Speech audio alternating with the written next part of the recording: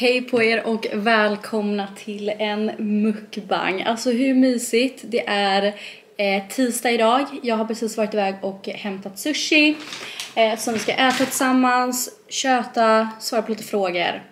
Bara good times. Eh, jag har en Fanta. Jag har blivit besatt av Fanta Orange det senaste. Alltså under hela året så var jag besatt av ehm, Pepsi Max. Eh, men nu har jag typ kommit till stadiet att jag inte gillar det längre. Och det är en sorg. Men den har ersatts av Fanta. Minsann. Sen har vi min sushi. Eh, om ni kommer till Karlskrona, det godaste stället är Sumo Sushi. Vi har två stycken varianter. Det är en som heter Sumo Sushi tror jag. En som heter Sumo Kitchen som har ännu mer typ risrätter och sånt. Och det här jag köpte på Sumo Kitchen. Men jag tror typ det är samma kedja. Eller jag antar det. Att det är det. Eh, idag så valde jag Tokimaki. Eh, min absoluta favorit är ju egentligen eh, Crunchy Maki. Men det är ju eh, panko friterat och då, gud, det är gluten och eh, min mage pallar inte det. Sen ibland offrar jag mig men ehm, ja, den är väldigt god i alla fall. Eh, det är som sagt tisdag idag eh, och jag har behövt, behövt behövs och behöver vara hemma hela dagen för att det ska komma folk och typ ehm, inspektera eller göra någon ehm, service eller vad heter det, besiktning kanske man säger på vårat ventilationssystem. Vi har ju olika sådana spottar med ventilation i taken. Eh, och det är alltid så classic när de ska komma, att man vet aldrig vilken tid de kommer. Eh, och jag vill ju inte, alltså man kan skriva på fullmakt att de kan gå in när man inte är hemma, men jag vill aldrig göra det för att eh, jag har två katter och jag är rädd att eh, de ska typ råka glömma att stänga dörren och så har jag två katter på vift. Och det är ju inte kul. För min smak är det ibland lite för mycket eh, crabstick i, så ibland tar jag bort en av dem. Så att det blir lite mildare, men för annars blir det väldigt fiskigt alltså. Och ja, i och för sig så är det sushi, men eh, det kan bli för mycket, vet ni. Okej, låt oss smaka. Mm. Mm. Jag ska knuppa den här. Jag har inte tagit fram några frågor än, så det blir lite spontant. Och ni får ställa både på eh, Instagram och även på min Snapchat. Och följer ni inte mig där, gör det. Eh, jag uppdaterar där hela tiden, bara massa skit om vad jag gör eh, om dagarna. Det är inte så städat som Insta-story liksom, så det är verkligen raw. And we like that. Så in och kika och följ mig där. Och det är väldigt kul att interagera med er där. Kan jag börja med en intressant fråga och det har med mat att göra. Um, så om ni tycker att det är jobbigt så kan ni spola fram men jag kommer inte säga alltså, inget så galet liksom. Eh, men det är, jag har följt dig eh, hur länge som helst. Jag undrar vad som hände med din kräsenhet kring maten. Hade det bara att göra med din ätstörning eller växte du bara ifrån det? Eh, så för folk som följer mig och har gjort det länge. Jag var extremt kräsen när jag var liten. Och då är ju lite frågan så här, var det på grund av ätstörningen liksom eller alltså hade de ett samband? Och nej, de hade inget samband eh, utan jag har bara alltid varit så, ja men lite kräsen, eh, inte varit så stor i munnen. Eh, ända sedan jag var väldigt liten liksom.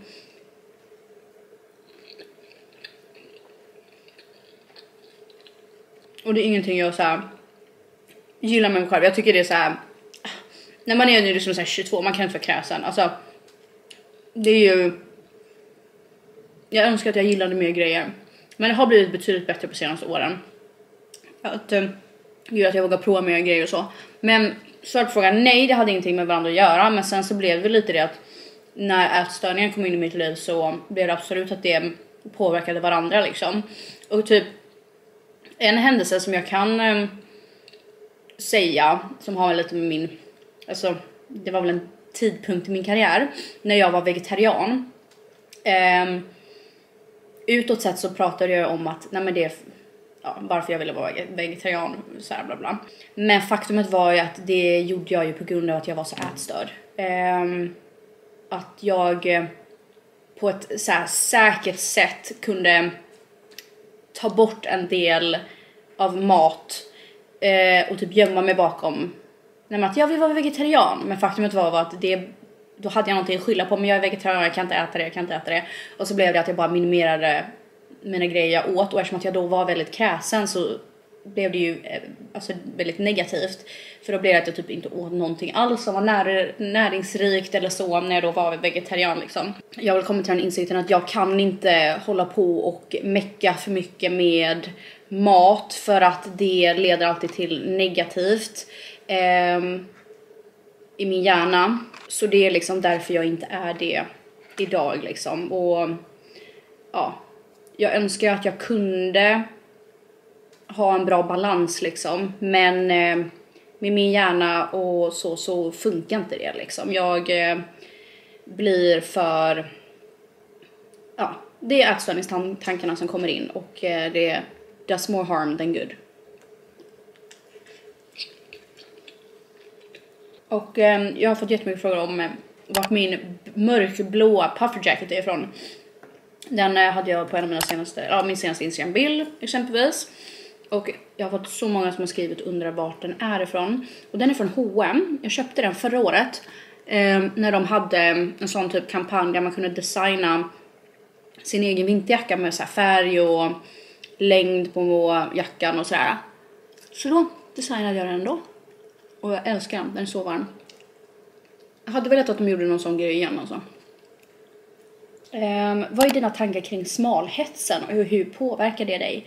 Um, jag tycker absolut att det har blivit ett skifte eh, det senaste året med ideal och eh, det är väldigt, eh, nu har jag katthår här känner jag. Men det är ju väldigt problematiskt att det, det svänger så mycket och det sätter också så orealistiska krav på unga tjejer och killar. Ehm, på hur man ska se ut och vad som är attraktivt för stunden. Jag skulle inte ljuga så det är klart att det påverkar en liksom. Jag har väl blivit ganska bra på att inte följa folk som jag blir triggad av. Um, för jag tycker ändå så här, alltså det är en sån här svår balans vems ansvar det är. Uh, jag tycker absolut att liksom vi influencers har ett ansvar över hur vi um, pursue ourselves utåt, eh, vad vi visar eh, och så.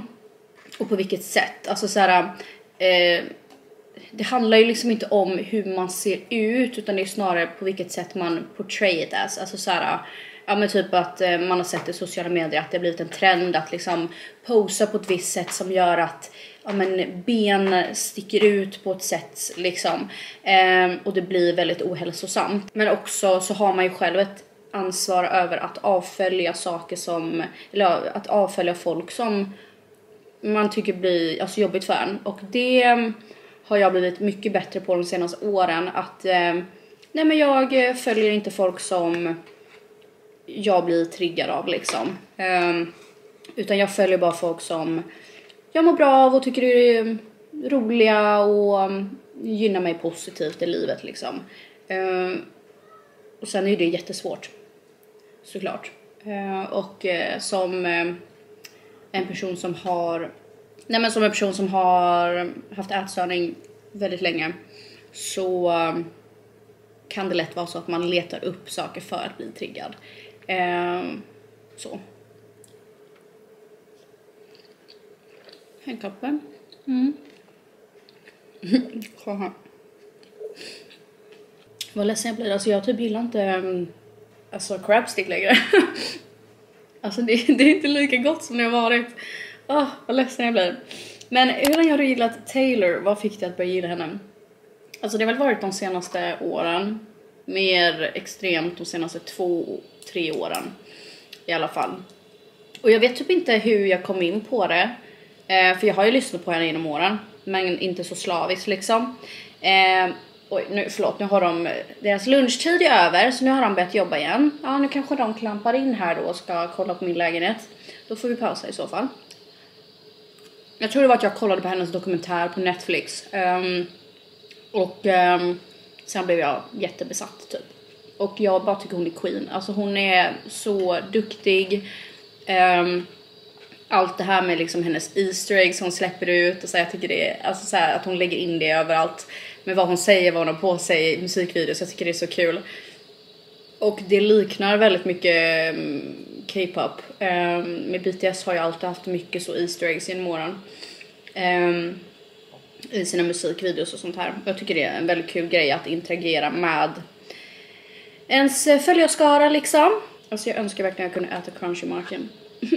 jag blir så ledsen. Eh, jag ska köpa en ragdoll. Eh, vad är dina bästa tips och råd? Alltså mitt största tips det är att ragdolls gillar att ligga högt upp. Och därför rekommenderar jag ett kattträd som är högt. Eh, bakom soffan har vi ett som är typ en meter högt och de älskar ju det. Sen har vi ett lite lägre där borta.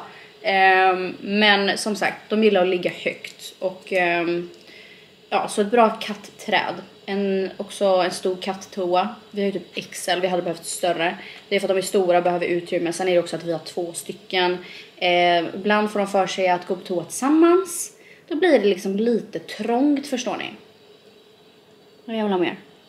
Ångrar mig.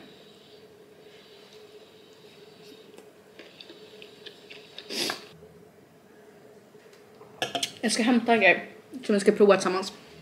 Jag köpte de här när jag eh, var och handlade häromdagen. Och det är eh, majskakor chili cheese och det lät så himla gott. Så jag tycker vi ska prova det. Eh, men jag har fått en fråga om eh, eh, hur mår du nu efter du har slutat helt med antidepp? Eh, fick du några biverkningar och har du ångest fortfarande? Jag har ju varit fri från det, eller min antidepp sen februari kanske, något sånt. Nu har jag den säkert varit så att fokusen helt hoppsan sa. Jag mår bra. Um, depressionen är borta så att jag är så glad över det. Ja, jag hade biverkningar. Speciellt typ när jag trappar upp och trappar ner. Lisa som redigerar här, hej. Eh, när jag eh, trappar upp och trappar ner så var det framförallt att man blev lite så eh, unsteady med känslor. Eh, man blev väldigt så, ja men det var, gick upp och ner, man kunde gråta, man kunde vara ledsen, man kunde vara glad. Eh, att det svajade väldigt mycket. Och att man kanske fick extra mycket ångest och mådde extra dåligt typ när man trappade upp och trappade ner. Sen så lägger det sig när man har stadgat sig på dosen liksom. Alltså en biverkning av antidepp är ju att ens mående och humör blir väldigt så monotont typ. Eh, och det kan vara väldigt jobbigt. Alltså, jag märkte en sån stor skillnad när jag sen slutade helt.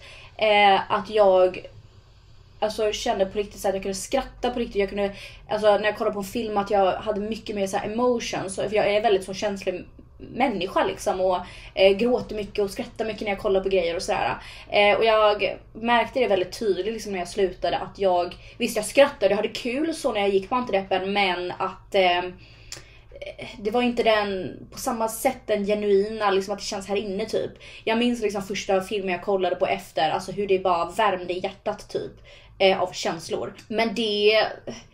Visst det kunde väl vara lite jobbigt att vara så monotom. Men samtidigt så var ju det jag behövde för att med depressionen, man mådde ju så så dåligt, hade så mycket tankar och grejer. Och det var det som antideppen hjälpte, att hjärnan blev tyst liksom. Att jag slapp alla ångesttankar och ni som har mått väldigt dåligt vet ju liksom hur det kan vara liksom.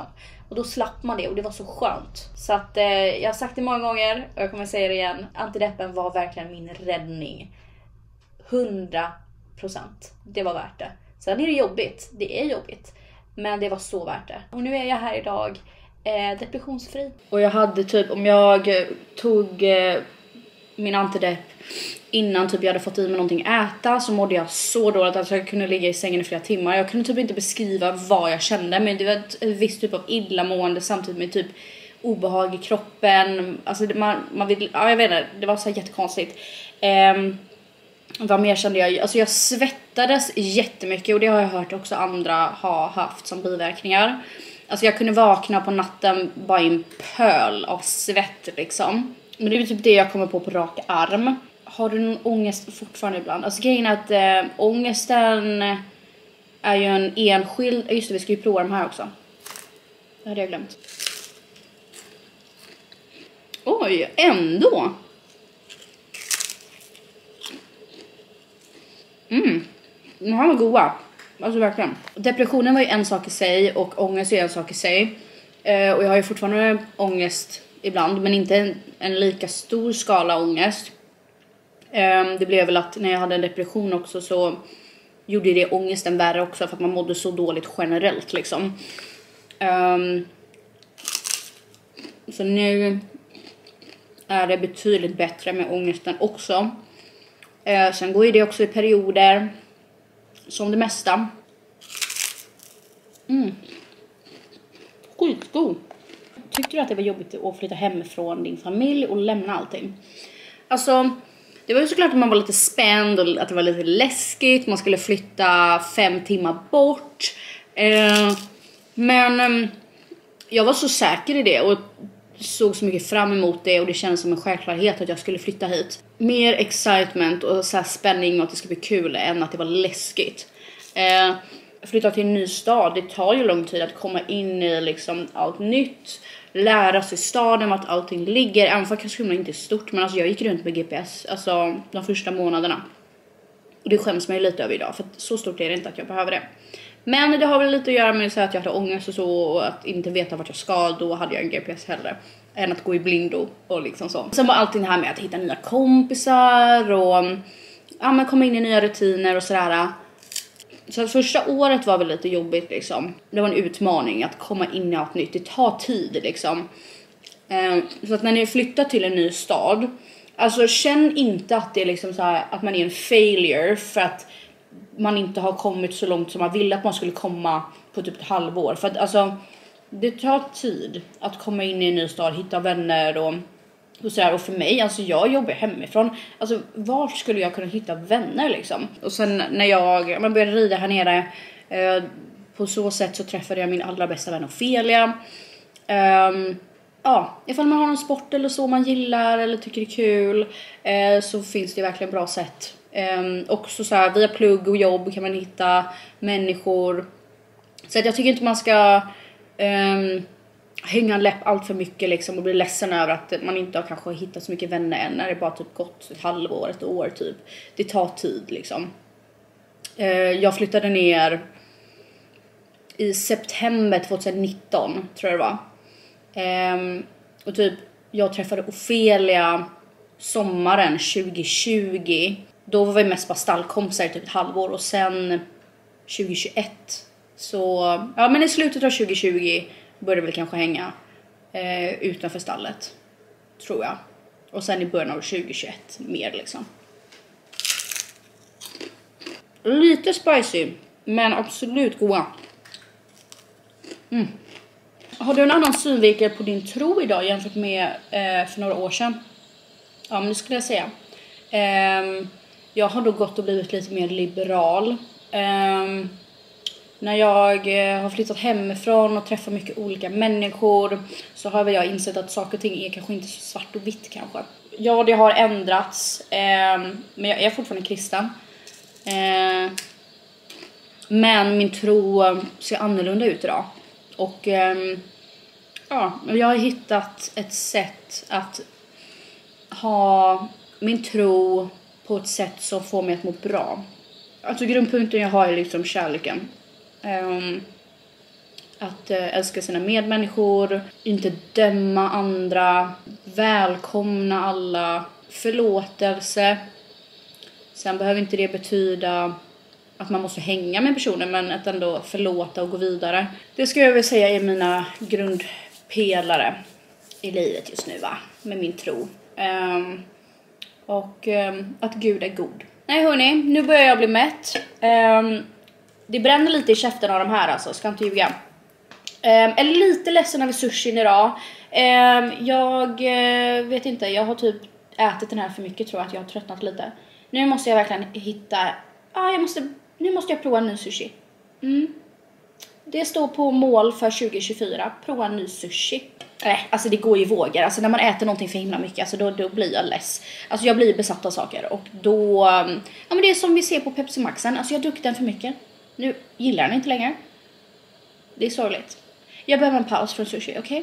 Okej? Okay? Mm. Jo, också jag måste säga, jag har inte lagt upp en video för jag har gått och väntat på att det ska komma grejerna jag beställde för att göra en julpyntvideo. Men jag fick bara inse att nej, jag får vänta någon vecka till. Eh, så därför kommer det en mukbang här. För att jag hade egentligen velat filma julpyntvideon. Men jag väntar ju fortfarande på grejer som inte har kommit och det är så störande.